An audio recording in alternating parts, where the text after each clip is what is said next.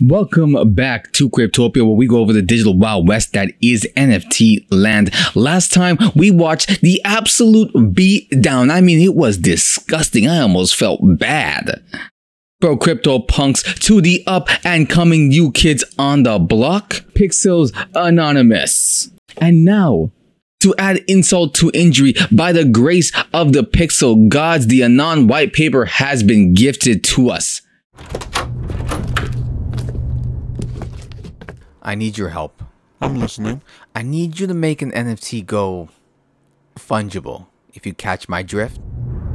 555 Warriors only, bruv, NFTs will form the Genesis collection, bringing with them a tax tool utility. Because let's face it, most of the people in this space are basically bent over with an all access sign for the IRS on their butts. So, the Pixel Gods, however, are sending a tool that will be able to track your revenue in and out of your wallets. Do you like to lose money? Do you like paying the government to find newer ways to take your money? Are you a broke boy? The last one was rhetorical. We've seen the market. You're all broke. So the vision behind this is to be able to pull files with all the trading information from your wallet, export them in a nice, neat Excel spreadsheet for you. And now you can turn that shit over to the CPA or do it yourself and get screwed even harder. Whatever, however it is you file your taxes. Now, do you like staking? Well, too fucking bad. This is not going to be their main utility. All right, they'll have it. Okay, so you can stop crying on your wife's lover's big sweater that you like so much, right? They will have their own marketplace. You can stake and they'll have their own token. That being said, the token will not be backed by a liquidity pool. They want their holders, the holders only, to have access to this marketplace and not allow external people to buy in and use their resources. So that means only the people that got in warriors only, bruv. Did you see the last video? Where I explained this. 30 people. Do I really have to go on? A dog, a lion, a marsupial, and the 30 people compete for Discord. One person gets in. Warriors only, bruv. The Anon Death Duel. That is what it is called. Do you like DAOs? Well, they're not going to have one. I'm kidding. Of course they will. They will form a DAO after Mint is done. And this is what will decide the vision and the purpose of Gen 2. So wait, you want me to kill them? No, we're not assassins. Just make them fungible. So duplicate them. Yes. We did it to Isekai Meta. We can do it to them too. That'll be costly, you know. And let's not forget analytical tools. This will be provided through an external source. All right. There is a partnership on the table. It's a little hush hush. We can't talk about it right now. By the time of making this video, that's what's out there.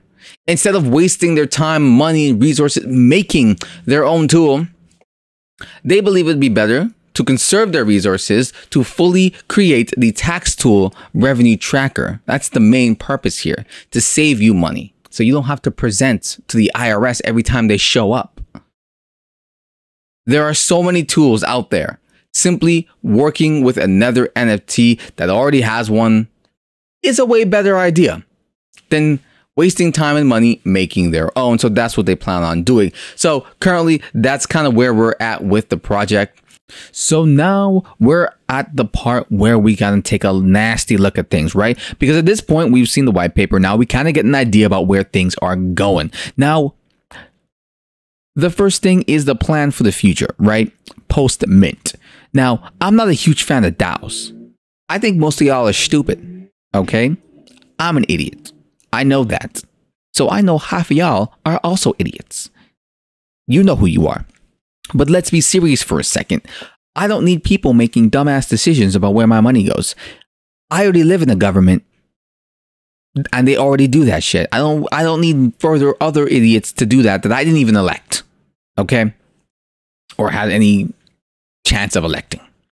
But that's how they're planning on doing things with a DAO. So I'm hoping that, and I think you guys should be looking at this too, that they come with some sort of bullet points. You know what I mean? Like we want to hit up these specific things and, you know, vote on which way you want to go. And also, we have the section where you can put in your suggestions and we can see if that is something that it, we'll explore that. If it's something good we'll present it to the overall community. And then from there we will take a vote and etc etc that's i'm hoping things will go down. That's the first thing because a lot of projects will fail outright just because they don't have any idea what the hell they're doing on the post mint. They're like we minted it. Now we have no idea. I've been in spaces where it's like we don't know what to do. We lost all our momentum in the in post mint. It's because you didn't plan this out motherfucker they thought they were just gonna live off the hype alone from the first mint. They don't work. People, people in this space have the shortest attention spans in the world. All right, moving on. So, what are some mistakes they've done? This is something that I myself am going to have to explore and try and get it into the next video. You know, these guys, like I mentioned previously in prior video, they've been around for a while. They've met some people, so they've seen some things.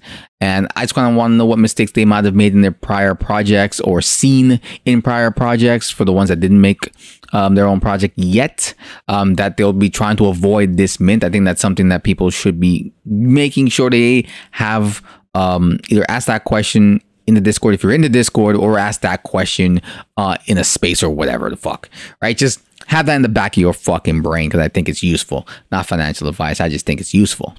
Um, and then the last thing that I really think we should be paying attention to is, you know, kind of what's the percentage um, that they need to reach to make this project happen? Because, you know, can the project happen without the money, right? So one of the things I, um, um, a lot of it right now, I believe, is funded by the founders purely. It's um or at least the core somewhere on the core team is the founders. The founders right now.